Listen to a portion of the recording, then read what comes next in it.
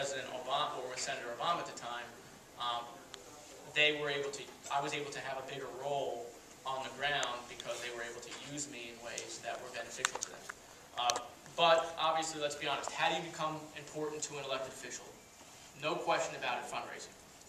Whether we like it or not, the most important thing uh, in a campaign is not your ideas, it's not your vision, it's not even your record.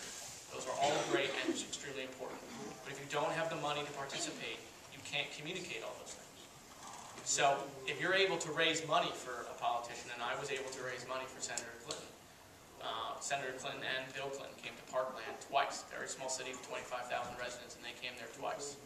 So by being able to raise money, I was able to become important uh, and develop a role. And what happened was, I wrote a speech to introduce the president, and he liked the speech so much that he took the speech and went to Texas and basically read my speech in Texas at a bunch of fundraisers uh, and public events at the day or two after I had introduced him.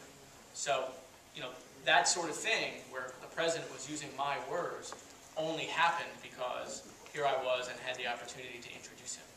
So, and that's, that's what politics is. Your first opportunity leads to another opportunity that leads to another. All my friends who are working